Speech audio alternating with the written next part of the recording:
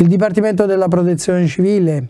è da sempre proiettato verso i bisogni di chi è affetto da disabilità e attraverso un gruppo di lavoro, il progetto Abili a Proteggere, ha rivisto tutte quante le pianificazioni operative, le proprie procedure per consentire di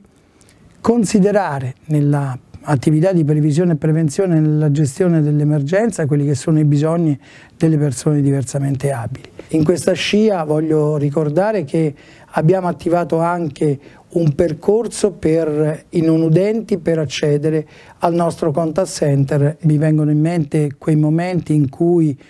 nel primo periodo del lockdown tenevo le mie conferenze stampa quotidiane e in particolar modo ad un giorno nel quale un giornalista mi rivolse la fatidica domanda cosa fa la protezione civile per il mondo della disabilità?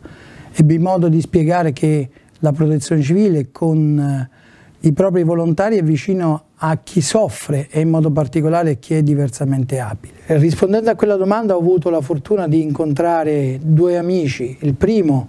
l'ex ministro Antonio Guidi che ritrovai la settimana dopo seduto in conferenza stampa e col quale interagimmo su quella che era l'attività che la protezione civile portava avanti a favore delle persone affette da disabilità.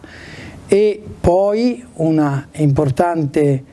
conoscenza per me scoperta è il mio amico Elio, padre di un ragazzo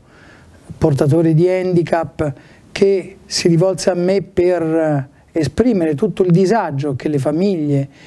eh, con portatori di handicap avevano durante il periodo del lockdown. Voglio concludere rivolgendo a voi tutti quanti un caro saluto